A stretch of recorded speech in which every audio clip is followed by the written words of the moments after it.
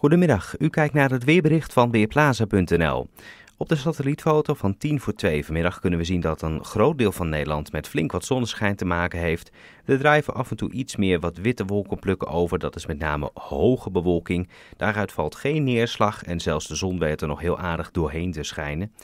Verder naar het zuiden toe in Frankrijk, daar zien we al wat wittere wolkenplukken, met name in het westen van het land. En dat zijn onweersbuien die daar tot ontwikkeling aan het komen zijn. En die onweersbuien, daar gaan wij morgen mee te maken krijgen. Vanavond is het nog overal droog, het blijft lang warm en er staat ook nog uh, niet al te veel wind uit een oostelijke richting. Komende nacht is het wisselend bewolkt, soms bredere opklaringen, minimumtemperatuur rond een graad of 17. Aan het einde van de nacht zou er in het zuidwesten misschien een enkele onweersbui het land kunnen binnendrijven, maar die kans is niet heel erg groot. Dan morgenochtend is het overwegend droog en dan schijnt de zon ook behoorlijk en dan gaat de temperatuur snel oplopen. Tegen het middaguur is het al boven de 25 graden op de meeste plaatsen en uiteindelijk wordt het 29 tot zelfs 32 graden. Het zijn echt hoge temperaturen en daarbij wordt het ook nog eens broeierig en vochtig warm in de loop van de middag. En dat is eigenlijk een teken dat er wel weer wat gaat veranderen, want later in de middag en vooral s'avonds dan trekken er vanuit het zuiden een aantal stevige onweersbuien over het land kunnen echt stevige exemplaren zijn in de zin van dat er zware windstoten bij kunnen optreden, tot 85 km per uur. Er is ook hagel mogelijk en er kan in korte tijd lokaal veel regen vallen, wat misschien wel wateroverlast oplevert. De wind is overwegend matig, eerst uit het zuidoosten, later draaien naar het zuiden tot zuidwesten. De Nijmeegse Vierdaagse is natuurlijk op dit moment bezig, dus voor hun is ook belangrijk van wat gaat er met de onweersbuien gebeuren.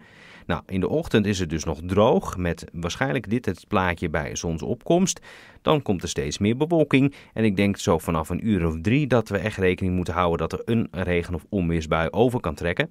Nou is het wel zo dat het zuidoosten van het land, met name het oosten van Brabant, Limburg en de Achterhoek, dus ook omgeving Nijmegen, een kleinere kans heeft op onweer dan het westen van het land. Nou, verder temperaturen dus aan de hoge kant, 29 of 30 graden, zorgen dus voor dat je goed drinkt en dat je ook ervoor zorgt dat je wat te eten binnenkrijgt.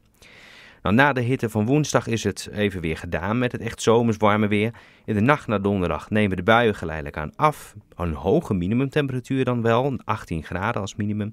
Donderdag overdag dan stroomt de drogere lucht het land in. Hebben we een afwisseling van wolken, zon en een paar buien. Middagtemperatuur ligt rond de 23 graden. Verder de wind die gaat wel even aantrekken uit een westelijke richting en die wordt dan matig aan zee vrij krachtig. Op vrijdag is de wind weer wat afgenomen, dan is het een graad of 23 met geregeld zon en droog weer. Zaterdag dan valt er wel verspreid weer een enkele bui, maar met 23 graden is het nog steeds wel heel aardig weer voor juli. Maar zondag en de dagen daarna, dan wordt het langzaamaan nog iets minder warm. Middagtemperatuur in het binnenland nog wel 20 of 21 graden, maar in de kustgebieden misschien zelfs niet eens 20. En ja, dat zijn dan toch wel weer wat magere waarden voor deze tijd van het jaar. Daarbij van tijd tot tijd nog wel zon, maar ook kans op een enkele bui. Ik ben Ben Langkamp van Weerplaza.nl